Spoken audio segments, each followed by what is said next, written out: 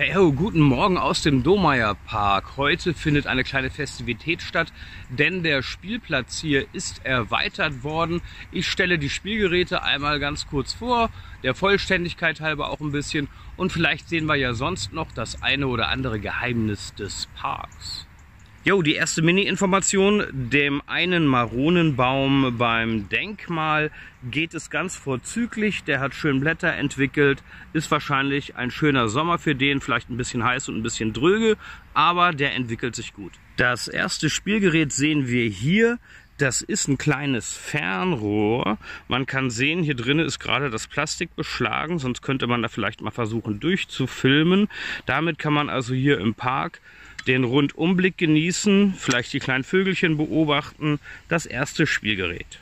Außerdem gibt es im Bereich des Spielplatzes, also des Spielplatzes, der da schon Bestand hatte, äh, noch dieses Xylophon, wo man so ein bisschen seine musikalischen Fähigkeiten ausprobieren kann. Die anderen Spielgeräte befinden sich nämlich weiter im Parkinneren und da latschen wir jetzt hin und gucken uns an, was es gibt.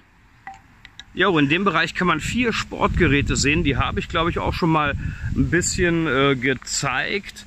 Da gab es nämlich ein Mini-Video zu, allerdings ohne irgendwelche Übungen. Ist auch nicht so nötig.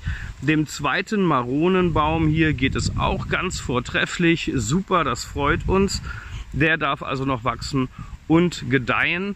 Und weiter hinten im Park sehen wir doch ein weiteres Sportgerät für Kinder zum Hangeln gibt es hier verschiedene Kletterwände. Das eine sieht so ein bisschen aus wie eine Hängematte, aber ich glaube, da kann man entweder ja abchillen oder auch versuchen drüber zu krabbeln.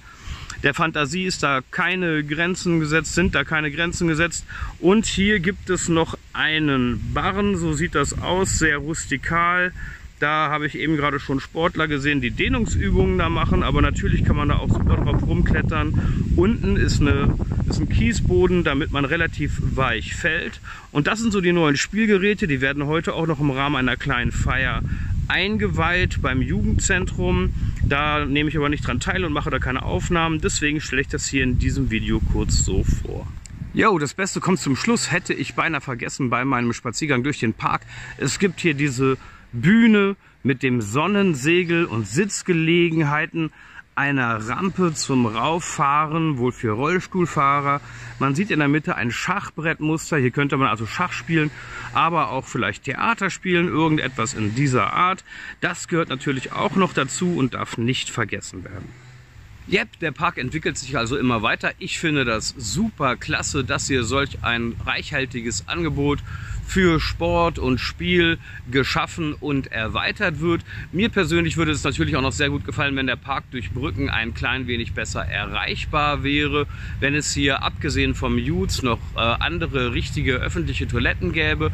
Vielleicht entwickelt sich das ja noch in der Zukunft, wir wissen es nicht. Das war auf jeden Fall erstmal ein Mini-Überblick über unseren Domeyer Park.